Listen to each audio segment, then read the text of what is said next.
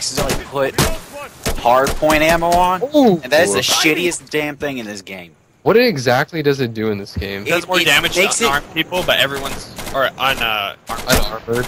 Yeah. Yeah, it, it That's pretty much, shitty. Are you fucking kidding me? That was right on. Pretty much if you shoot him in the arm or the leg, you're good, but if you shoot him in the chest, you're fucked. Wait, so it actually- What is happening? What is